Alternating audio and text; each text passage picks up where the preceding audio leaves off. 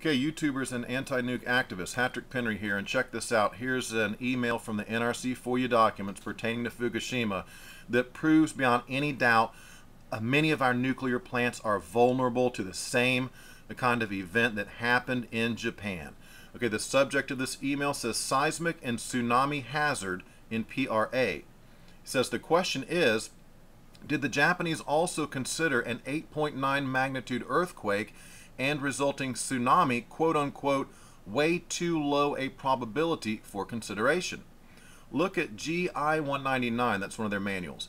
It shows we didn't know everything about the seismicity of CEUS, the Central Eastern United States.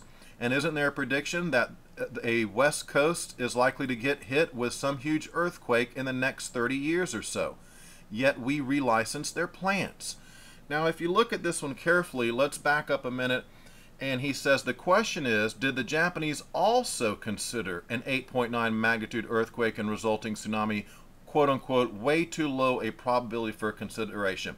When he says also, that means that we, the U.S. guys, we we all we did this. We said, look, there's no way there'll be an 8.9 and a tsunami. Don't even run that in the probability equation. Forget that. The highest we think can ever happen would be a 7.0 or an 8.0 on the eastern continental shelf. So again, they they're making the same mistake. He says, did we all did the Japanese also consider that that was too low of a possibility and thus left themselves vulnerable because they didn't prepare for that magnitude of an earthquake and a resulting tsunami? As this email clearly shows that we're not considering that either because our guys think it's quote unquote way too low a probability for consideration, right? Well, now it's already happened once. Do you think it could be possible it could happen again? now, right down here at the bottom, they also are well aware that they're relicensing plants even though there is this, this hazard exists. And now we can say that it's not way too low a probability for consideration because it's already happened at least once, right, with Fukushima. Wow, folks. I, I really, you know, let's take a quick look at, uh, we want to go in, let's have a look at the nuclear plants we got here. And this is from Greenpeace, I think. And look at our eastern seaboard. I mean, just look at that and look. These are high, highly active areas, and right now, what's revealed in this particular email is they are not considering a huge, massive earthquake like happened in Fukushima. They say, nah, that's probably never going to happen. Don't even throw that into the equation when we figure out what the chances of, you know, uh, building a nuclear plant here will result in an earthquake and some kind of catastrophic event. So they say they don't factor that in. They say, oh, we can build here. Well, because we're not going to factor in an 8.9. We're just not even going to consider that, even though it's happened once in Fukushima. Folks, I'm telling you right now, let me tell you something. The magnitude of these crimes that are going on with the NRC, with our alphabet agencies, with everyone in on these cover-ups and the conspiracy to hide the true nature of nuclear power, the, the true nature of what's happening in Fukushima, again, I want to stress very clearly, that is of a criminal nature of a very high magnitude. And these people need to be incarcerated at the very least for an extended period of time. And that is my true belief because if you have an ability to save someone and help someone, and you do not do that, and, and again, I'm not asking you to jump out into a lake full of crocodiles and rescue someone, right?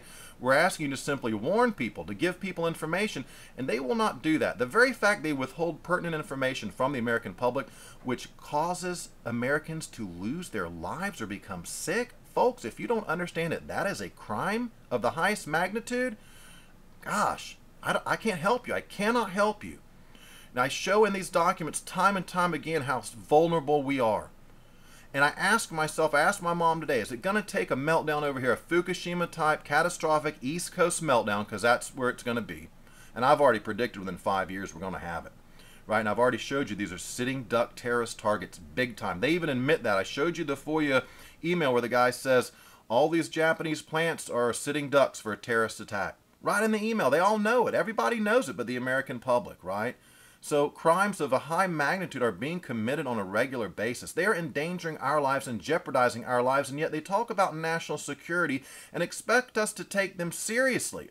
Again, I, I, I, continue to put this in the mind of the American public, this phrase, and I will continue to repeat it until my last breath or up until such time as it, this event actually unfolds and that would be sweeping mass arrests on an unprecedented scale. Alphabet agencies, industry, politicians, all across the board. We know who they are. The propagandists on the TV at night. We know who the conspirators are.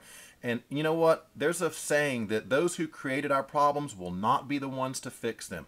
You really should, I, I, I beseech you to consider that. Consider that particular contention that all the people in power now, who are the ones who created all the problems we now have, there's no way they're going to fix them. They want to perpetuate this because they're profiting from the chaos. They're profiting from disaster.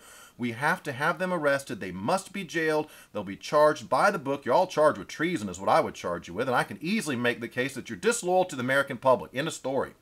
Okay, I've gone on too long, but when you look at what I'm the email I'm showing you here and the damned magnitude and serious of this, folks, uh, let's not let it happen here in the United States. It's bad enough Fukushima is going to rain down on us for how long? Hundreds of years? Thousands of years? Do we have to have a meltdown over here of that size? Seriously, is that what it's going to take for Americans to figure out how damn dangerous nuclear power is? Combine that with the thousands of suppressed patents, thousands of suppressed inventions for alternative and new energy.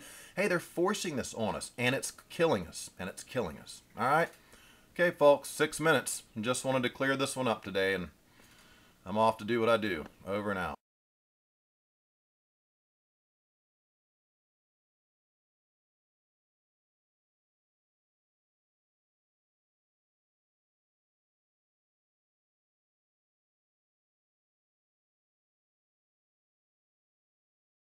We need to get subscribed and get this unity stronger and beat YouTube at their own game.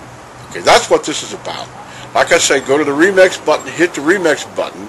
That way you'll have this video and, and keep up with this. Otherwise, you know, YouTube's just going to control us, guys, and it's, it's really bad.